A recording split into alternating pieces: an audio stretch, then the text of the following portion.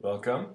We're going to go ahead and show you how to take a Macintosh computer running the latest Macintosh operating system or Apple OS X and show you how to go from this side, which is the Mac side, through Boot Camp and over to the Windows 7 side.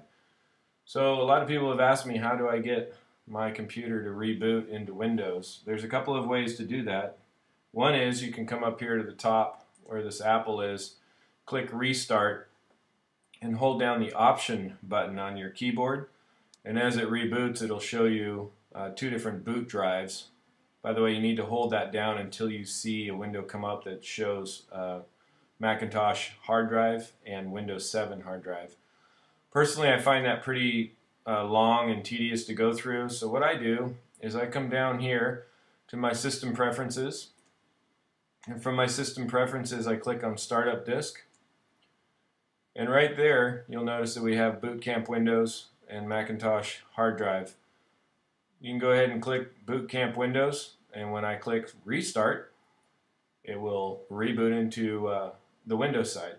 So stay tuned. We're going to go ahead and show you how to come back over from Windows to the Macintosh operating system.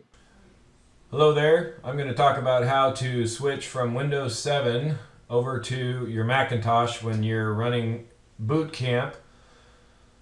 So the fastest way to do this is to take your cursor icon go down to this small little triangle that you see at the bottom of my taskbar where it says show hidden icons. Click on that and you'll notice that there should be a boot camp icon. It's this little triangle. I'm sorry, this little diamond shape. Um, click on that and you can go down to the bottom here where it says restart in Mac OS X. What'll happen is when as soon as I click this I'll get a verification that I want to start restart my computer in the Macintosh operating system. If I were to press OK right now it would go ahead and do that. That's all you need to know in order to get yourself from Windows over to the Mac. Fairly quick and simple. Enjoy!